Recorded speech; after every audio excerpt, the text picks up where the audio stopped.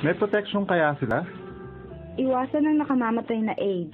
Gumamit ng kondom.